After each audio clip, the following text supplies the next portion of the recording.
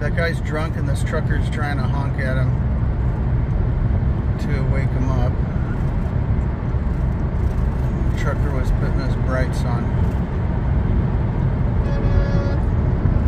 Yeah. Trucker's honking at this guy. He's all over the road. He's putting his brakes on for no reason. He's swerving to the left, swerving to the up. Hopefully.